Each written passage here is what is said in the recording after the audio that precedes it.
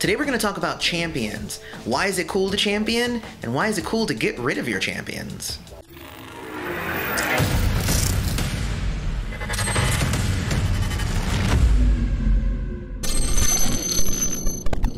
Hey everybody, welcome back to MPQ Mastery, where we teach you to destroy more gems. Don't forget to follow us on Twitter at MPQ Mastery. You can also check us out on Facebook, MPQ Mastery. We have a Facebook page, y'all. So I get a lot of questions from players who are asking about champions. Should I champion this character or that character? When should I sell them? Things like that. So we're here to go ahead and discuss the whole thing. But before we get into it, don't forget to hit like on the video, subscribe to the channel, and hit the bell notification so you always know when MPQ Mastery releases a new video. We have been having so much fun putting out these videos for you guys, you don't even know. The first thing that you need in order to champion a character is to get 13 covers. Once you have these 13 covers, you can spin the ISO 8 necessary to get them up to their maximum level. But the characters can only go up so far with their 13 covers, to the point where then the game will ask you if you want to make them a champion. And this costs different things depending upon whether it's a 2 star, 3 star, 4 star, or 5 star character. But once you do this, it's very, very cool. That means every time that you get another cover after that point, you're going to get a special reward. Now, this was actually something that wasn't introduced too long ago. Before you could champion your characters, you had extra covers and you would end up just selling them because you couldn't hold on to them. They would expire after a while. So you would just sell them. Now, what's really cool is that they allowed you to champion them, and then even more recent update allowed you to store some covers if you get additionals and you just don't have a place for them yet. So they've been really making a lot of strides in the game with this part of the game, this championing part of the game. So I applaud D3 Go for that. But once you champion them, every cover that you get, you're gonna get some ISO, you're gonna get some command points, you're gonna get some hero points, you're gonna get other covers for other characters because a lot of the characters are connected obviously within their different comic book streams. So getting a bunch of covers for Daredevil as a champion might get you some Kingpin, it might give you some Bullseye, it might give you some bigger Daredevils.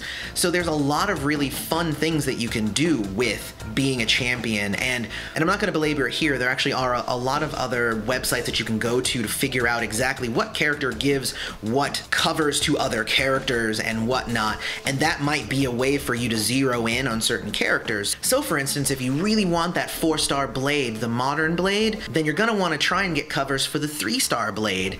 You're gonna wanna champion him, and then eventually he's gonna start giving you covers for the more powerful version of himself. So that is definitely a thing that you wanna look at. Here's the thing about being a champion though. Eventually you'll hit a level cap even for the champions. For the two star champions, it's level 144 four, and for the five star champions, I believe it's 550. So there's a lot of leeway there in the number of covers that you can get for these characters. And then as soon as you hit that level cap, there isn't anything else to squeeze out of this lemon. So the question becomes do you sell that character now?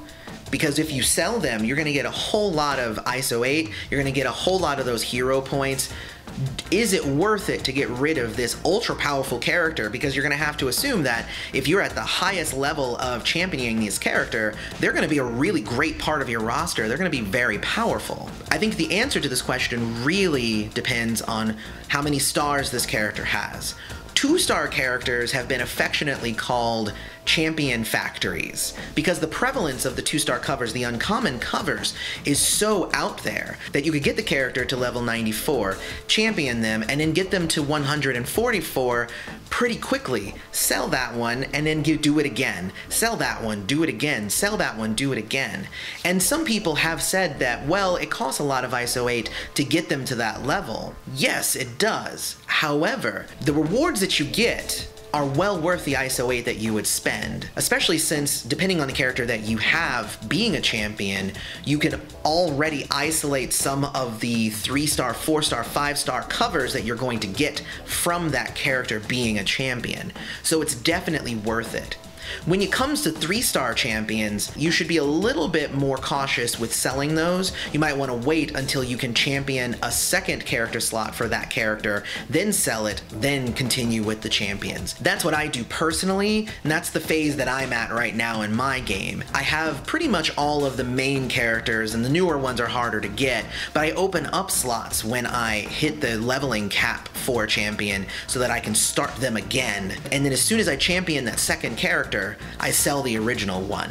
I've done this a few times with the Human Torch and with the three star Bullseye, and it works out really, really well. Now, when it comes to selling those capped four stars and five stars, you need to be really careful about that because obviously it's harder to get those covers. I think that you could probably follow the same strategy that I just said for the three star covers. Wait until you have enough to champion that character again, then maybe sell that original. And that's honestly the best way to do it.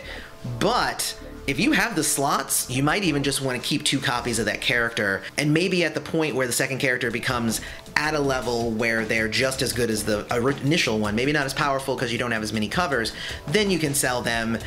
But those four star covers, especially some of the rarer ones, are so hard to get. Five stars, I've never reached the point where I would need to sell one, so I don't even know what to tell you. If you have enough five star covers to get them to their ultimate level, uh, I would just keep that character probably forever. but those two star champions, those are just going to be a continuous, you're going to want to get the character, champion them, get them to their highest level, sell that one, get them again, get them to their highest level, sell them again. And again, it's going to create sort of a champion factory that you can then take and it's going to enhance your gameplay. It's going to get you to the next level that much quicker. I'm going to put a link in the description to where you can go and you can figure out what characters give you what covers to other characters, and then maybe you can start getting your strategy down for the characters you want to pursue pursue the most. But otherwise, I really want to know what is your strategy when it comes to champions? Let me know down in the comments and let's continue this discussion. Once again, don't forget to check us out on Twitter and Facebook at MPQ Mastery. And thanks for coming to MPQ Mastery. Go destroy some gems.